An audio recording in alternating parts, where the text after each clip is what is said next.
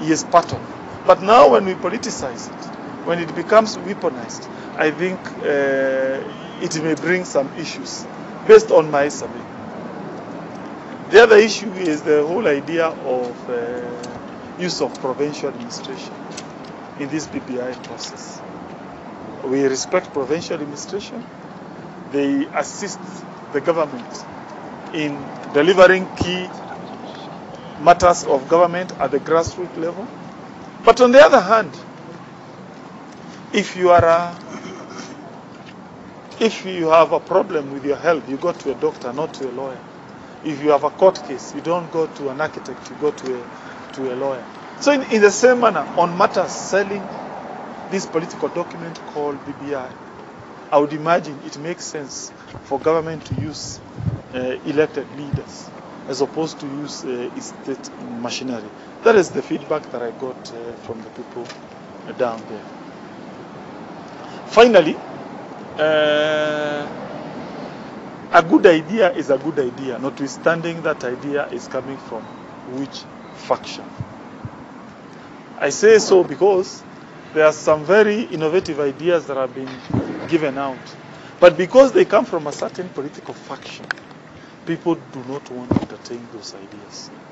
Uh, two ideas came from a certain political faction. Number one, we postpone this referendum up to 2022.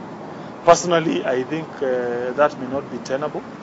And the reason is, uh, if we do that, we may encounter some constitutional problems, uh, which includes we need to have constituencies now so that people can vie and get elected in the year 2022. But if we wait up to 2022, then definitely we shall not enjoy the benefits of the new constituencies. Uh, again, also, remember the revenue sharing formula that was passed by the Senate. It was predicated on the understanding that we are going to increase more monies to the, uh, to, to the devolved units. So, therefore, if for any reason we don't devolve more money, then the third generation revenue sharing formula will be rendered uh, nugatory. Uh, so therefore, I, I, agree that we need to finalize the issue of BBI now. However, there is the idea of multiple choice referendum. Uh, for me, notwithstanding the proponents of that idea, there is some merit in that idea. Why? It guarantees, at the very basic minimum, that BBI will pass. Because it's the whole idea of giving an array of options to Kenyans. So you give them uh, certain options. If this option is good, they pass it. If this one is bad, they don't. So at the basic minimum, you will find some clauses will have been embedded in the constitution, as opposed to voting yes and no, where you run the risk of one, the entire document getting lost. Uh, let me say that uh, from where I sit, we must support the government. We must ensure the good work that His Excellency Uhuru Kenyatta is doing is finalized. Uh, I will continue being supportive of the government as the chief whip. But on the other hand, I strongly believe it is important that we report the truth. I saw the governors of Mount Kenya region trying to downplay this issue. I saw other members of parliament, like uh, my friend from Nyeri, uh, Mheshimiwa.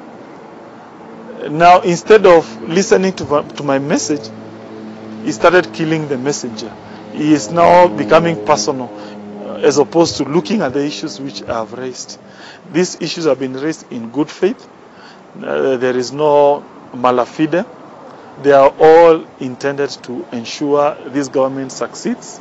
But please, it is important as leaders to be candid and frank, particularly on matters constitution, because they help this country. Uh, this process is important not only for me, but for the Kenyans, for our children, and for this government which we endeavor to serve. Thank you. The President, my name is Hillary. The President, uh, in what seeming like uh, a response to you back in Vihiga, said that uh, they can write uh, letters, they can lecture me, but I'm in charge of this government. What do you say? Definitely, I cannot engage with my superior. Uh, I strongly uh, I agree with his sentiments, and it will be impolite for me to engage with my boss. Thank you.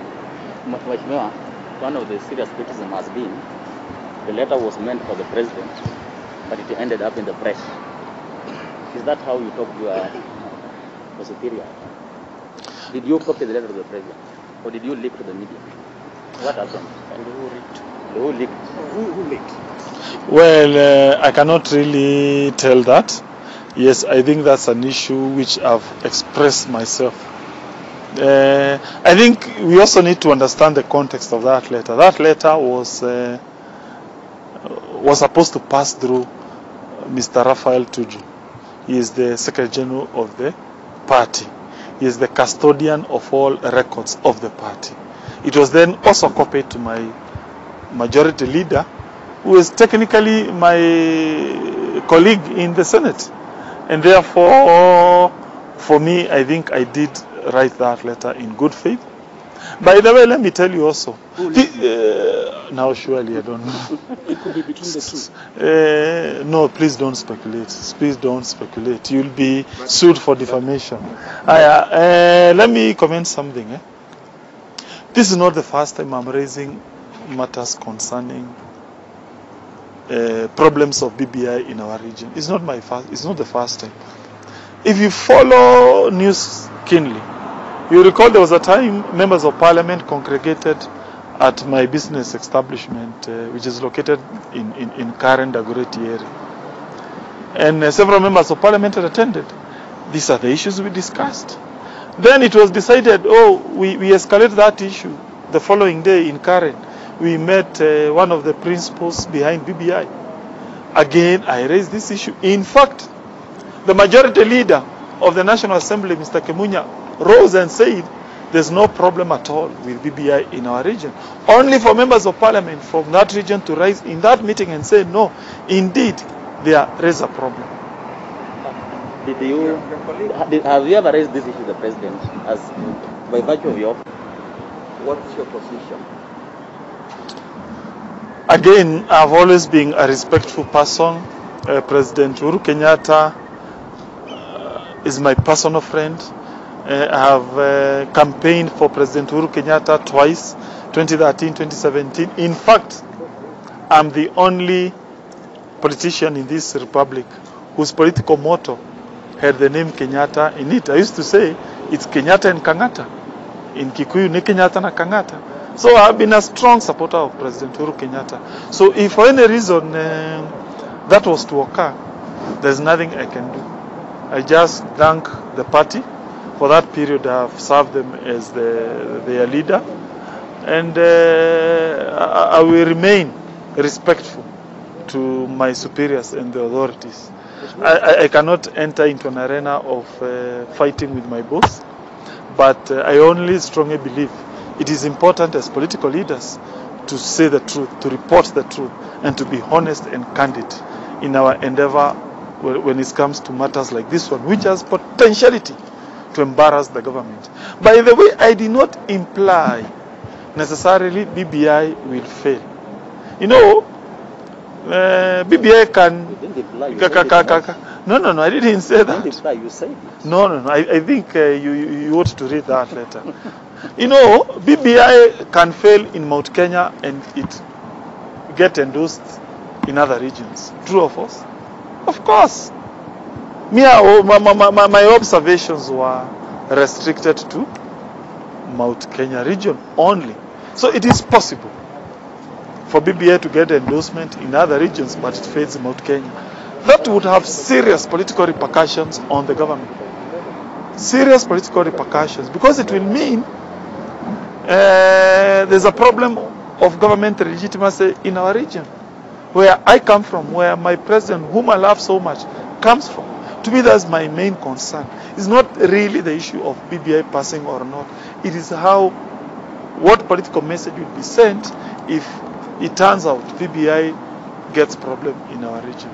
Some People- critics, people say some you critics, might be Mheshimiwa, shifting say you are already a mole to Tanga Tanga while you are in Jubilee. Well, responding to that, also respond to people saying you might be shifting your allegiance to Ruto, in that you are supporting even what he's saying about Libya, multiple places and, and so and so. Yes, I think that's not the problem when it comes to matters constitutional. When good proposals come from whichever side, you now weaponize them. Instead of looking at the merit of a proposal, you start to bastardize that proposal just because it is coming from a certain quarter. That is the problem we have in this issue.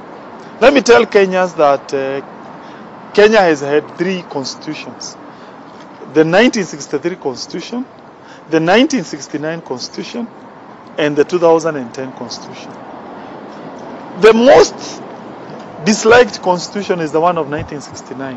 Why? Because it was pushed through Kenyans in a very partisan manner. Eh? It's, it killed devolution. It uh, started to undo democratic tenets of multipartyism. Eh? Ultimately, it started to whittle down our human rights.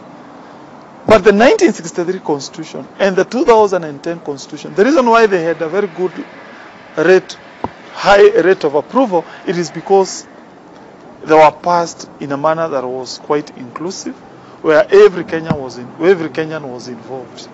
Uh, so for me, I'm trying to tell uh, our leaders, please don't politicize this process. Ensure everyone is on board so that we have a constitution which has a very good rate of approval by Kenyans. So as to whether I'm shifting my political allegiance, let me tell Kenyans, myself as a whip, I believe in one united Jubilee. I work for the Jubilee Party. I work without considering those factions. I don't believe in divisions. I don't believe in hatred. I believe in unity, peace, and harmony in Senate. Says a whip who has taken Thank the you. lead of Whip, whip, you, you are saying that, and your, the, your boss, the president, seems to have already decided that uh, there, there is no longer a, a united Jubilee because from his sentiments recently. Why, why are you uh, sort of in um, disagreement with the, your boss? You see, let me tell you one thing. eh? As a whip, I'll be measured on the basis of my output as a whip here. Whenever I mobilize senators to support a certain government cause, I'll not be measured as per how I create divisions. So when I'm mobilizing senators here to pass government business, I mobilize everyone. If I was to dare uh, take that route of trying to create division, bills here are going to collapse. Yeah, for example, let me give you a good example. The other day we were we were passing what is it called the sports bill, isn't it? Surely, if uh, if let's say Tanga Tanga senator said we are not going to attend that session, that bill would not have passed. So the whole idea, what happens outside, the whole idea, politics, I don't know which factions. For me as a whip, I cannot at any moment embed such kind of a political culture in my way of doing things. For me, I want unity. I push for a united house, a united party, because I'll be measured on the basis of the output, which does not engender. I support factionalism. Uh, you still believe that Jubilee is going to come back together and united yeah, as a whip? And finally, again, uh, you are even that position when others were ousted out of office. Do you have some experiences that you might appreciate your predecessors in office experience the same? That you think the challenges, just as you pointed out about your colleague, the counterpart in the National Assembly, who says actually you have demonstrated immaturity in politics? Well, uh, my counterpart is the one with a motion of ouster. Me, I don't have. I think if there is uh, evidence of what is said, uh, it is the fact that six months are not not even. I think we are now on the seventh month since we assumed this office. He already has a motion of being ousted from his position because he is doing his business in a manner that is discriminative, in a manner that fosters divisions. Eh, Whenever there are meetings, he calls members of parliament from a certain faction. I think Kenya, Kenya cannot be built through divisions. Senate or even National Assembly cannot be built through divisions. It can only go forward as, as, as through togetherness and through ensuring we mobilize people across the board. Thank you and God bless.